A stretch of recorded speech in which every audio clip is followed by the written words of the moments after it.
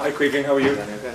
Good, good. Um, horrendous journey, terrible result. Uh, what are your reflections on the other night?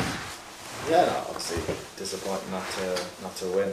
Um, like I said, um, a long journey, um, but disappointed not to win. We obviously didn't play our best. Um, you know, disappointed to not give um, you know the fans who travelled over, had a long journey over, not to give them a, a result and a performance they deserved. So yeah, it was a big disappointment in the whole camp after the result, really. You can hardly say we deserved to win, though, could you? Um, um, I'm not sure. I don't think so. I think we didn't probably create enough clear-cut chances to, to say we deserve to win. Um, it's not easy to play against a team that you know sits back behind the ball and, and is defensive like that. But no, I don't think we played our best and we didn't create enough clear-cut chances really to say we deserve to win. What about the goal? Was it preventable?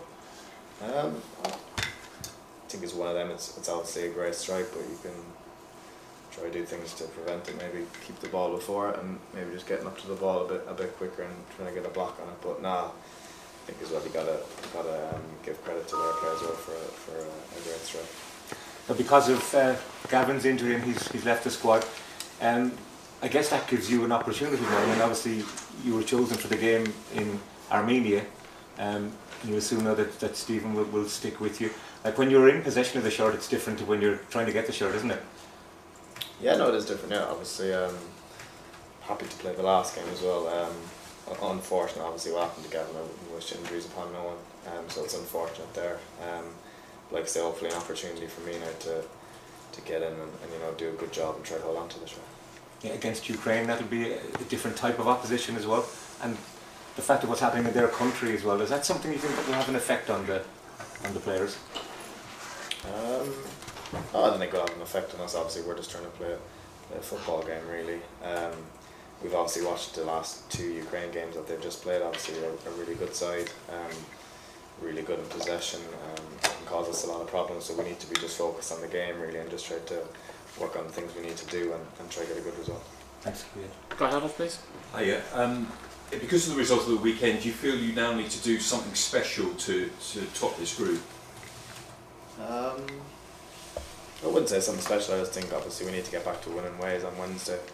Start off, you know, with a win and then see where we can go from there. But um, yeah, listen, the result obviously wasn't ideal on Saturday. It doesn't put us in a in a good position, but it's the first game. I think there's still have a lot of games to play. So hopefully, if we can start with a win on Wednesday, then maybe we can try to carry that on and win the group.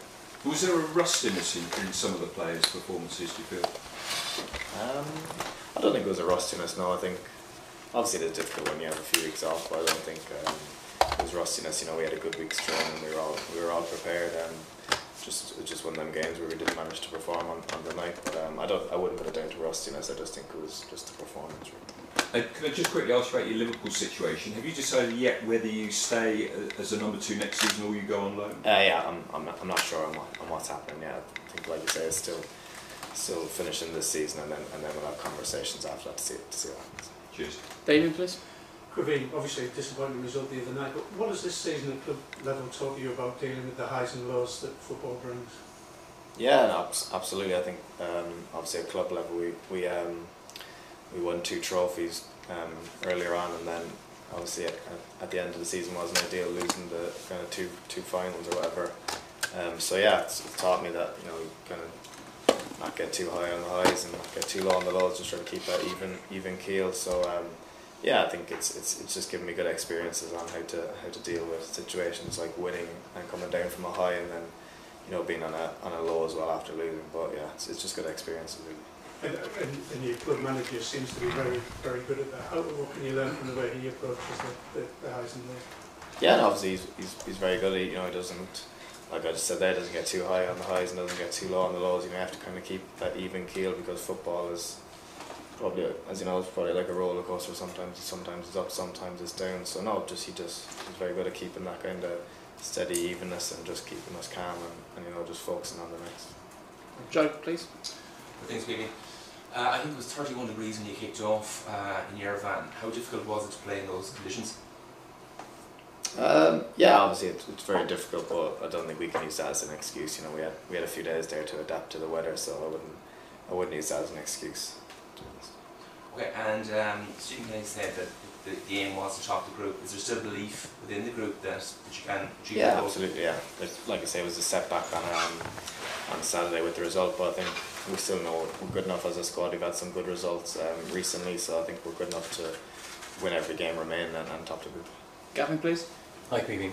Are you tempted by a club move? Um, just to go out and be in a Um, I'm not sure yet. I mean, obviously, I'll just need to get play these few games and see what happens with these, and then um, maybe decide after. that. And then what's been the messaging from Stephen Kenny in the hours and days since Armenia? Yeah, and obviously it was um, it was disappointing with the with the performance really. Um, so we've just been looking back on that, trying to trying to see what we can do better, and then the focus really is just switch to Ukraine. Is you know you have to let that go as soon as that game's over. We need to move on and forget about it, and we've just trying to been focused on Ukraine and, and getting the right result there. Neil, please. Caoimhin, you'll potentially come to the end of this window, having s- started maybe six games in a row. How important is that for your development, and do you think you need to be playing more regularly at club level to be chosen on an ongoing basis beyond that? Um, yeah, no, it's been it's been really good to obviously hopefully play a few more games. Um, to play the last few games as well has been really good for me. Um, you know, great great to get games at international level. It's a, it's a very high level, so really good for my development. And um, yeah, you know, don't know what can happen. Um, I don't know what's going to happen at club level, obviously, but you know, if you keep performing, when I get the chance, hopefully, um, you can stay in and keep all the jersey. John, please. Yeah, Kevin, just sort of linked to that, the last time we spoke to you, you spent a lot of time talking about your reasons why you felt it was better that you stayed rather than went alone. And the fact that when Gavin got injured, Stephen turned to you rather than the goalkeeper who's playing regularly, is that sort of justify your stance? Uh, yeah, I'm not sure. I think, just think, um, yeah, I just want to be, you know, ready to play all the time. I don't, I don't um, think if you perform when you get the chance here, I don't know if that's good enough or what the situation is. I was lucky that I was selected um, when Gavin got injured, so hopefully, hopefully I can um, put into performances to justify that decision, and, and hopefully it stays the same. Dan, please. Um, Caoimhin, I know it's a couple of months ago now, but can I just ask like, how special was it to be involved in that League Cup final? And are they the kind of the occasions that give you a taste for more, if you know what I mean, to, to be on that stage? Yeah, no, obviously it was, it was a really special special moment for me. Um, you know, to win a, to win a cup with such a, a big club like Liverpool was obviously it was, it was a great moment. Um, and yeah, like I say, and obviously when you when you do it once, you kind of want to do it again and again and, get that feeling again. So um, now it's given me great motivation to try and do it again and, and get those experiences. Again. What's it like to see yourself on the mural? Yeah, no, it's nice. Obviously, it's it's it's a it's a nice thing to have at the club, and it's nice to, to be able to look at it now with, with, with myself on it. It's you know it's a it's proud it's a proud moment for me to be to be on a wall with such you know legends like that. Time for a final question if anybody wants it. So briefly, John, then, thank in, you. In the build-up, um, Gavin, to Saturday, were you pre- or were you prepared to play? Yeah, there was um, so there was there was um, I don't think there was a decision made on who was playing, so I was just ready, preparing like I was going to play. Like I think all three of us were we all were prepared like we're playing, so there was no decision on who was playing. And then once once I got the nod, then I was I was ready and prepared to. What, so when did you find out? Um, I found out Friday. Okay, thanks, guys.